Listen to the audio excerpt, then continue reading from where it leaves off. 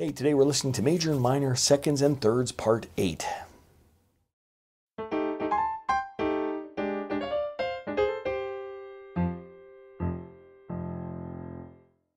Welcome to my studio, Bach to Basics. This channel is where you can find videos to further your music studies. Now while I go get ready for my juggling lesson, let's do some ear training.